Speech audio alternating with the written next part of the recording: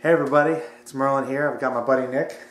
Now, uh, we're going to be talking about Ghost in the Shell today, the live-action Scarlett Johansson version. And now, I considered almost not doing this because, you know, I mean, I wasn't really sure, but I figured a lot of anime content on my channel. Plus, I've been talking about the Ghost in the Shell news since like two years ago when I first heard it was a thing. Yeah. So, like, literally, it was like the first like news podcast I ever did, like January eighth, of twenty fourteen. So I'm like, Yeah. if I don't review this, it's kind of be kind of stupid. to, yeah.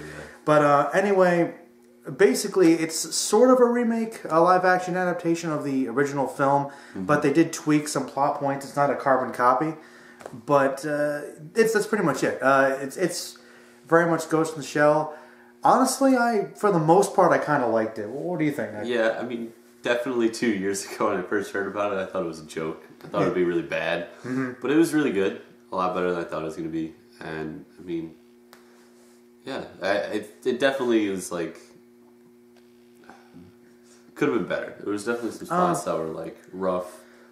The uh, the thing I think we kind of both agreed on uh, is that like the the feel of the movie it feels very much like Ghost in the Shell. Like the way it's shot, they really are trying to emulate a lot of the sequences. Yeah, it, it feels like Ghost in the Shell. It is Ghost in the Shell, Except- but it's not. Uh, because the- the biggest thing they left out, you know, of the plot is that you see Ghost in the Shell, besides being like really cyberpunk, which this was, Yeah. it's also really deep, really like philosophical, existentialist.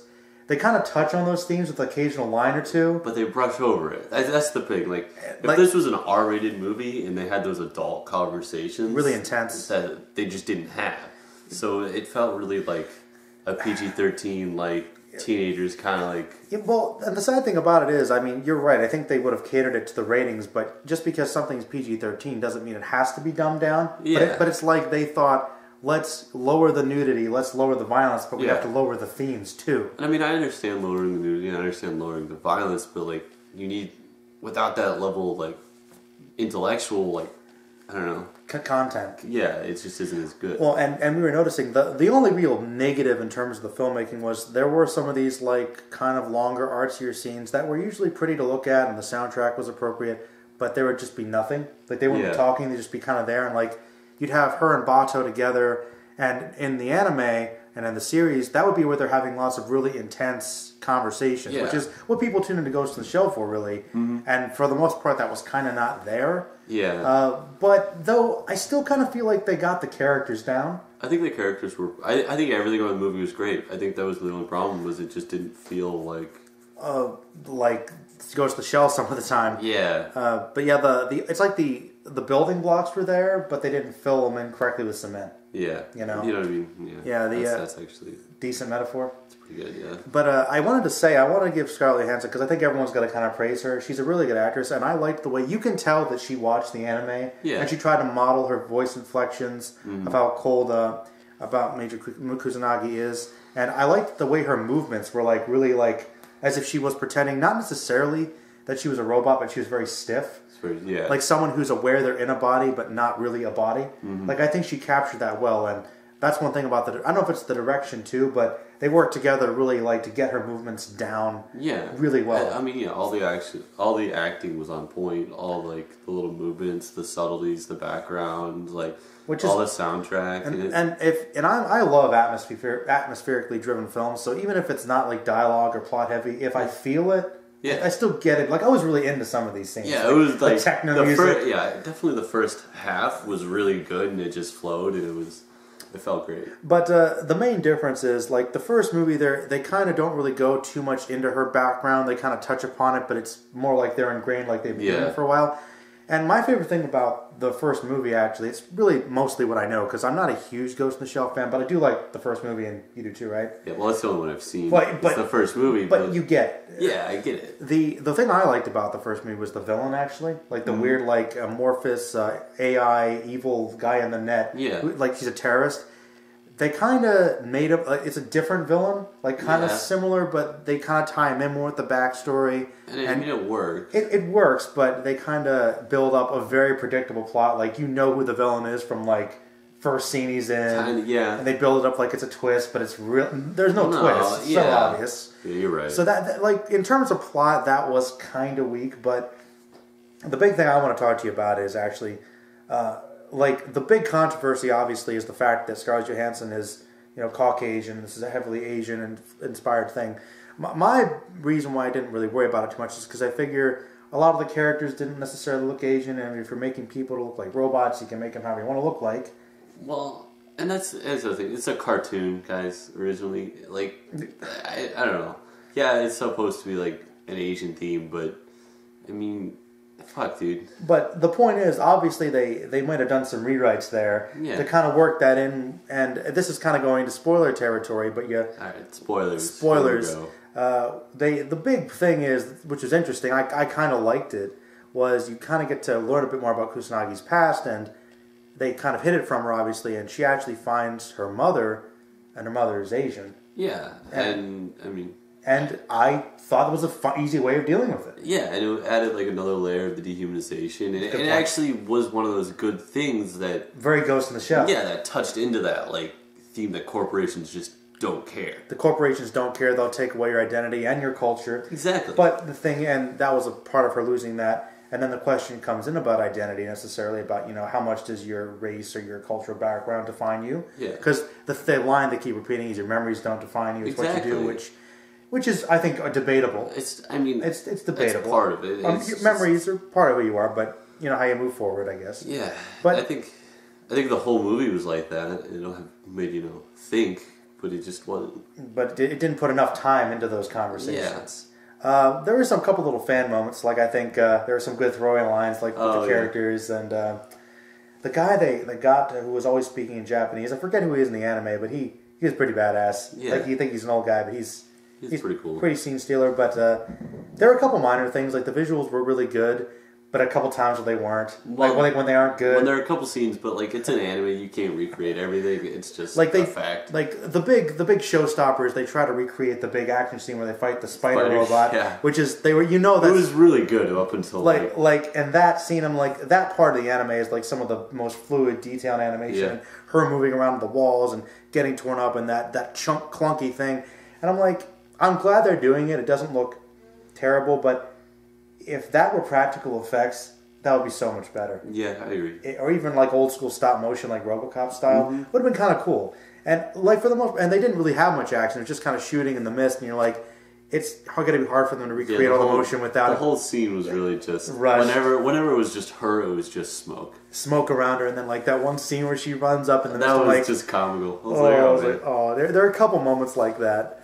But uh, yeah, but like so, it's not perfect. There's definitely some problems. It, it could have been better, but it could have been a lot worse. yeah, It could have been a lot worse. I think a lot of people expect it to be worse. I think it'll be really good, and I, I hope it does good because I, I mean I kind of want to see another Well one. the, well, the important thing about this is too. This is actually a very important movie because anime is still kind of niche, but it's been slowly growing in popularity. And if it's gotten popular enough that you know a, it can make movies like these Yeah. and not totally suck.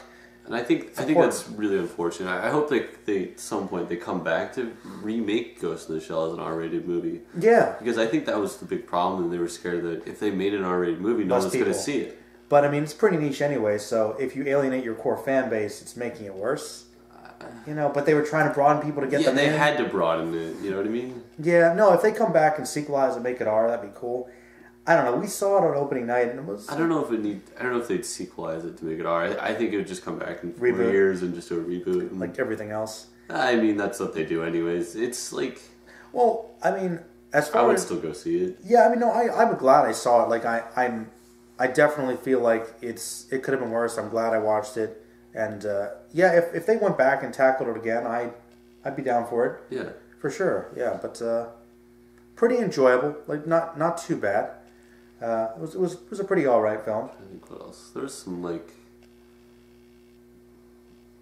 I don't know. Yeah, it was really good. There's- I, I just lost it, but It's like no, uh, yeah, no, I I think I think it was decent. Uh, I liked. I kind of like the bad guy. I like the I like the bad guy. I sympathetic. liked- Uh, the, well, the real, well, the, the there's kind of a fake bad guy. He's kind of all right. I mean, I like both of them. Well, the other bad guy was straight evil, hammy, like I Yeah. am evil. He was, yeah, he, like actually that was the one negative I had was that going along with not being really in depth with things. They're villains, they had two the- villains. they- and They really only need one. Yeah. and they didn't really write either of them particularly well. And the the Mm-hmm. real bad guy, the corporate guy, you'll know immediately. In he's the, one he's in the hell. first scene. Yeah, And you're like, wow, he's the bad guy. He's behind it. They're not trying to hide it. Yeah. He's evil for evil's sake. We don't know anything about him. And for some movies, I'd say that's fine. But for something that's supposed to be as intelligent and thoughtful as Ghost in the Shell, Yeah. you should go into it deeper. But I hope they make more anime live action films. Uh, and honestly, if they can, the- the key thing I want to say is this: I can say that watching this movie, I felt that in terms of at least the little details, for the most part, they watched it. They tried to do their best to live up to the spirit to it. They didn't capture it exactly, but they tried pretty hard, I think I think capturing really came down to the writing more than anything else. which is kind of where it was lacking. And then The visuals were there. yeah, Oh, I, this comes up a lot in like the cyberpunk stuff, but they try to capture like a Blade Runner esque world, and they had like the giant Yeah. like hologram advertisements everywhere. And I'm like, I think to myself, that looks really cool, but how much power are they losing for those ads? oh I don't know. They all felt like jokes. Every single one of them felt like a meme. Like, yeah, That's the future. Yeah. Just a bunch of memes where no one cares. And some of the like cybernetic prosthetics I made sense, but why is it the evil henchmen guys have like robotic jaws? oh, Like what's the I don't know. like? The, I think that was purely aesthetic to be creepy. I'm like, there's what's the it benefit? could have been they just lost all their teeth, and that's what they give now. It's just metal teeth. It's Ew. cheaper. I was kind of joking. I know Batou gets the robotic eyes, but uh, I saw it with a lady friend, and you were there, and it was, I was kind of joking. Like, I feel like in this universe where everything's cybernetic, they could probably just regrow eyes. Like, Well, yeah, why, she has normal eyes. yeah, Why- like, why- why, why can't he have normal eyes? Yeah. Or, or synthetic eyes that seem really, really real. Like, yeah, so some little things you just wonder about, but I don't know. I feel like in a lot of ways it was Ghost in the Shell, but some key things were really missing. Yeah, I'm trying to think. Some of the ads were really funny. There was one where it was like, it was just like for a gym ad, but it was just like she like- had cybernetic legs and she was doing um, bench oh, Benchworks, but it was this giant thing. And oh, they didn't show us the whole thing, but I guess it was like in front of a hotel or something. But the the, the dancing woman in this big dress Yeah. was like right in front of the parking lot area. I'm like, that's that just seems distracting. Like Well, that's what ads is supposed to. I I know, but I'm like, I guess I'll go to this hotel or this theater or whatever. like. I'm just distracted by this I know. awesome hologram that they put a million dollars into was- just to be there. good, yeah. There's stuff like that. So the little touches were cool. Like it was very pretty. The dream sequences were pretty. Um, action was decent. Like I like the characters. Uh, just kind of wish the plot had been a little better.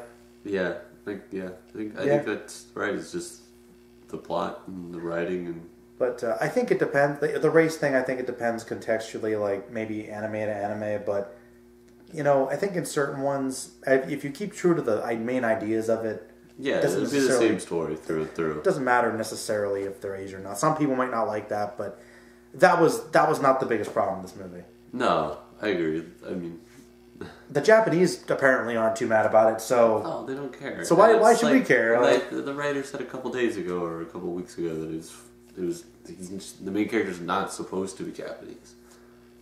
She's not supposed to feel Japanese. She's supposed to be feel alienated and be different than everyone else and, and if feel and, that way. And it's another level of demonization and culture shock. If you Yeah. got somebody who's Caucasian in Japan, Yeah, it's another like- alienation. The- yeah, it's like the big bad guy's whole motive is just to make her feel like a robot.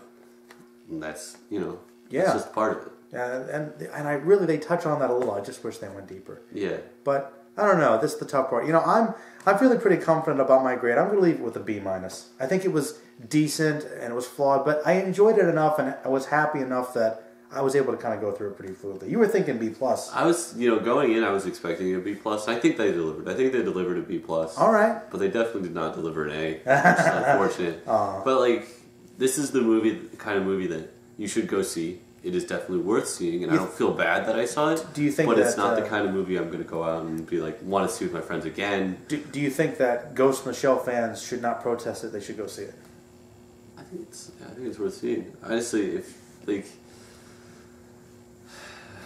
I don't know, but there's always gonna, it's always gonna be like that. There's always gonna, the movie's version's always gonna be different. It's No matter always- what, yeah. yeah. It's always not gonna feel the same or be the same. Yeah, that's true. But You uh, just kind of need to go over that. I'm sorry, guys. yeah, Like, yeah. No matter what, even if they made her Asian, there would have been differences. yeah. But uh, no, it, it, it definitely wasn't perfect, but I thought it was decent. So yeah, that's Ghost in the Shell, and uh, thanks, Nick. And Yeah. I guess we'll try to hit another one in the near future. I don't know. We'll see. It'll happen. I mean, it's going to happen. but know, who knows what it's going to be. I didn't. I actually didn't think Ghost in the Shell was going to be one you'd be there. I didn't know you were hyped for it. Ghost in the Shell is hype for Ghost in the Shell. I didn't know that. I love Ghost in the Shell. It's a good anime. It is good. It's I very really good. wish I watched the show. But You should. I just don't have enough time. Yeah, I, I, I just, As as I watch Dragon Ball Super.